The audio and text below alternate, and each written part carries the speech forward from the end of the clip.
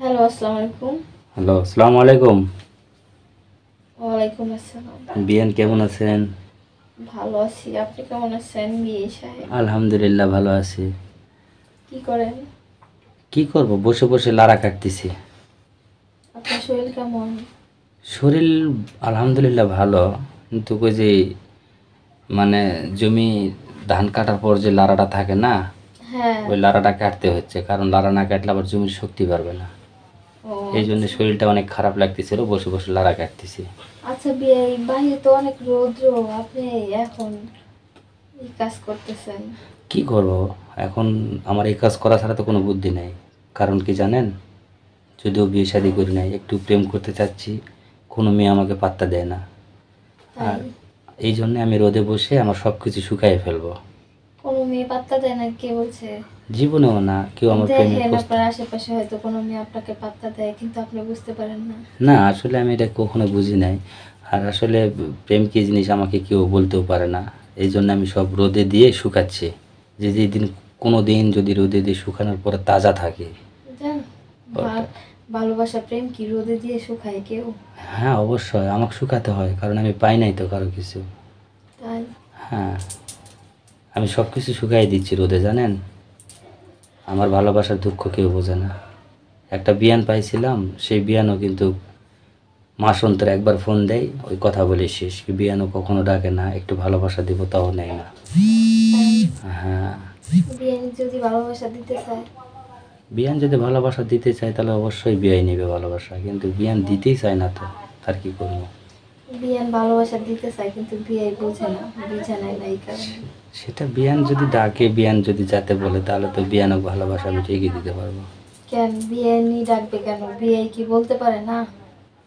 বিআই কীভাবে বলবে? বিআই বলতে গেলে যদি কোনো মেয়ে বা কোনো বিআই যদি এরকম করে আমাকে ইনসাল্ট করে।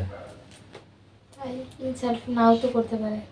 যদি না করে তাহলে তো বিয়ান যদি আমার আমার আসলে আমি প্রেম ভালোবাসাটা মানে এরকমই আমি প্রেম করতে চাই আমার কপালে জোটে না। আর যদি অন্য কেউ প্রেম করতে চায় সেই প্রেম আমার টিকে না।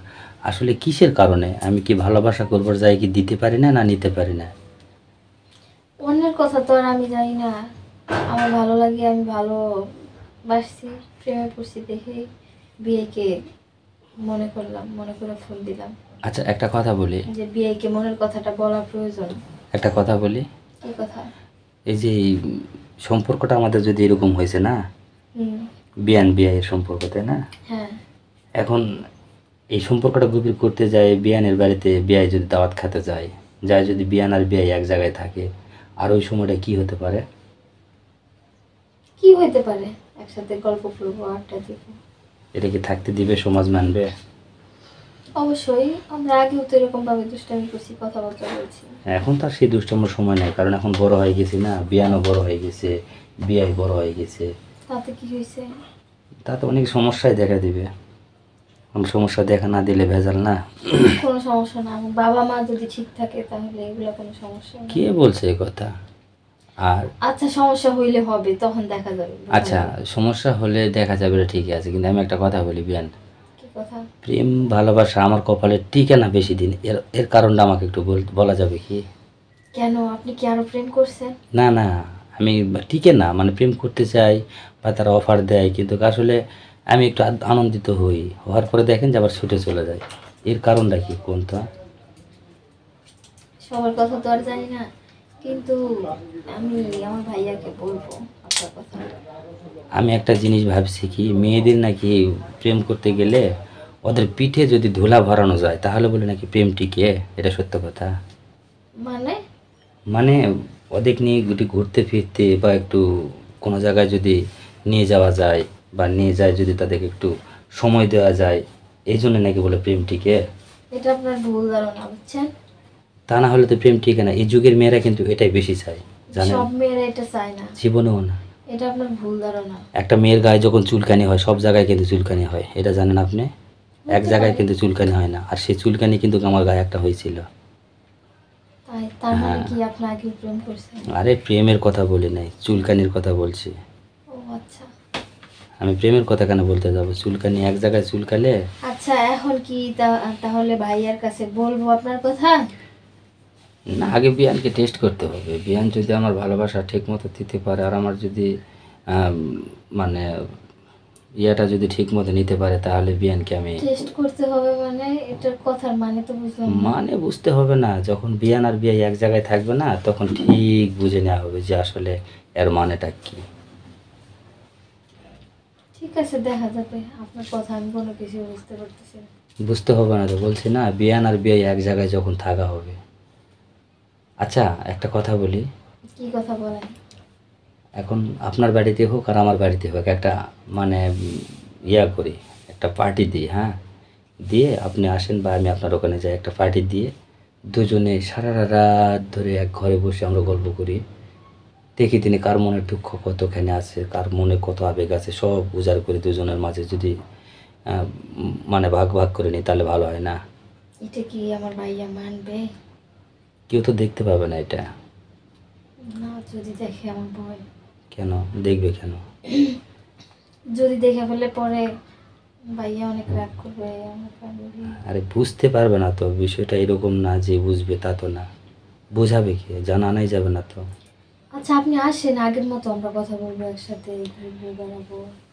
এখন আমি প্রেম করতে গেলে আগে আমার দরকার ভালোবাসা। আপনি ভালোবাসা হবে। হ্যাঁ আপনি আমাকে হবে। কেন? আমি বিয়ের আগে যদি ভালোবাসাটা পরীক্ষা করি। না বিয়ের আগে কি ভালোবাসা হয়? অবশ্যই হয়। অনেক জায়গার অনেকভাবে আছে তো আমি সেটা করে নিলাম। না এরকম হয় না। কেন? লাভ ম্যারেজ করে বিয়ে করা যায় না? আগে ভালোবাসা করলাম। হুম এই যে আমরা প্রেম করতেছি ভালোবাসবো বিয়ের পর এক জায়গায় হব। তো সেটাই বলতেছি সেভাবে হয়ে আমরা যদি একটু ফুর্তি করি তাহলে ভালো না? না না আগে কোনো চলবে না। কেন? বিয়ের পর। আচ্ছা ঠিক আছে আপনি কবে আসতেছেন সেটা বলুন। আর চলবে না কেন সেটা বলব আগে। না না। কেন? না পরে অনেক সমস্যা ভয় লাগে? হ্যাঁ। আর ভয়ের কোনো কারণ নেই তো? আমরা আমরাই তো। কেন? এটা তো আমরা আমরাই না? কেউ জানবে না কেউ বুঝবে না তাতে আচ্ছা দেখা যাবে আপনি আসেন আগে। আরে আমি তো যাবোই কিন্তু যাব কবে সেটা বলতে হবে না। আপনি কবে আসবেন? কালকেই চলে আসেন।